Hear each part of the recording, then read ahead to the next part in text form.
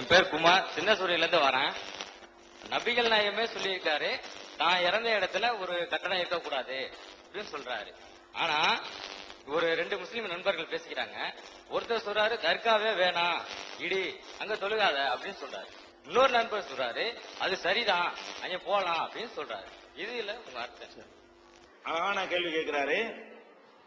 நபிகள் நாயகமே என்ன சொன்னாங்கன்னு கேட்டா என்னுடைய சமாதியை கட்டக்கூடாது என்று சொன்னாங்க. அது உண்மைதான்.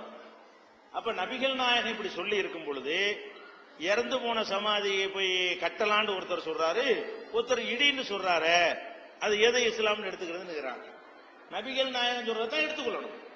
இஸ்லாத்தினுடைய அத்தாரிட்டி யாரு? நபிகள் நாயகம் தான். அப்ப நபிகள் நாயகம் வந்து இந்த இறந்து போனவர் சம்பந்தமா என்னென்ன சொன்னாங்கன்னு கேட்டா அவங்களுடைய மரண படுக்கையில் இருக்கும் பொழுது அஞ்சு நாள்ல மரணிக்க இருக்கிறாங்க. கடைசி நேரத்தை அடைஞ்சிட்டாங்க. அப்ப என்ன சொல்றாங்க நபிகள்? நான் எழுந்து உட்கார்ந்து சொல்றாங்க. கிறிஸ்தவர்கள் அன்னைக்கு இருந்த கிறிஸ்தவர்கள் அன்னைக்கு இருந்த யூதர்கள் அவர்கள் மீது வந்து அல்லாஹ்வுடைய சாபம் இறங்குற மாதிரி நடந்து கொண்டார்கள். எதனால சாபம் இறங்குறதுன்னு கேட்டா ஒரு மனிதன் இறந்து விட்டான் என்று சொன்னால் அவனுடைய அடக்க ஸ்தலத்தையே வணக்க ஸ்தலங்களாக ஆக்கி விட்டார்கள் ஒரு நல்ல மனுஷன் ஒருத்தன் செத்து போயிட்டான்னு சொன்னா கொண்டே அடக்கம் பண்ணிட்டு வராம அவருடைய அடக்க ஸ்தலத்தை வணக்க ஸ்தலமா ஆக்கி விட்டார்கள் எனக்கு நீங்கள் அப்படி செய்யாதீர்கள். நான் இறந்த பிறகு என்னுடைய அடக்க ஸ்தலத்தில் விழா நடத்தாதீர்கள். என்னுடைய அடக்க ஸ்தலத்தில் வழிபாடு நடத்தாதீர்கள். என்னுடைய அடக்க ஸ்தலத்தில் எந்த விதமான சடங்கு சம்பிரதாயம் நடத்தாதீர்கள் என்று நபிகள் நாயகம் தெளிவா கட்டளை போட்டாங்க. அதனாலதான் நபிகள் நாயகம் அடக்கம் செஞ்ச இடத்துல வந்து சந்தன கூடு கிடையாது.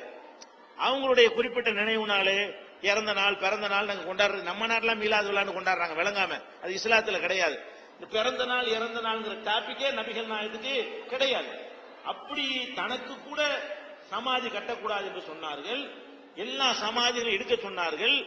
எந்த ஒரு மனிதனுடைய சமாதியா இருந்தாலும் தரமட்டமா தான் ஆக்கணும்.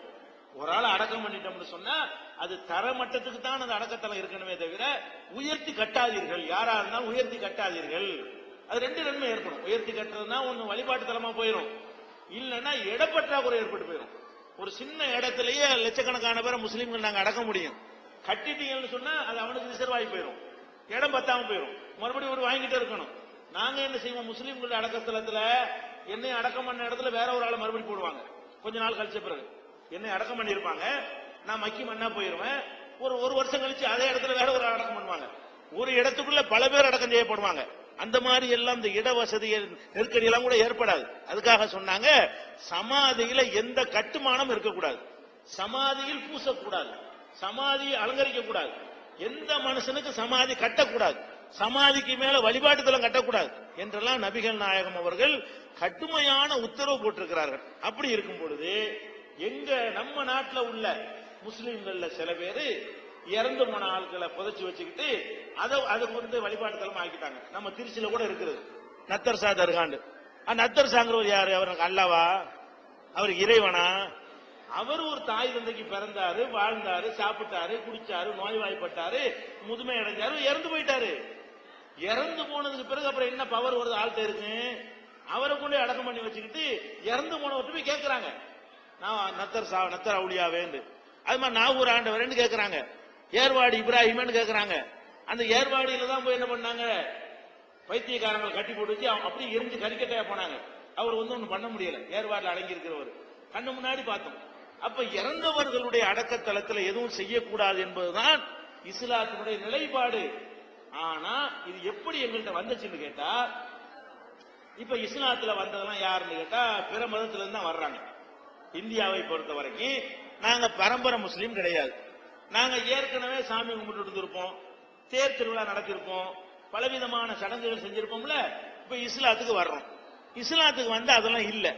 உடனே வந்தவன் என்ன செய்யறான்னு கேட்டா எங்க ஆள்கிட்ட மத குருமாட்டு போய் கேட்கறான் என்னங்க இஸ்லாத்துக்கு வந்துட்டோம்.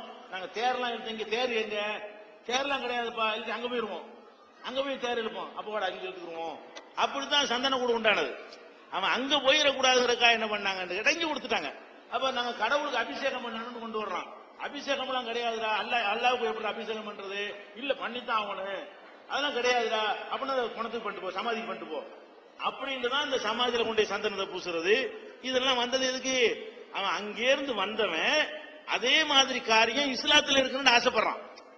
இந்து மதத்தில இருந்து வேற வேற மதங்கள்ல இருந்து வந்தவன் வந்து அங்க உள்ள மாதிரி உண்டியல் எங்களுக்கு வேணும்.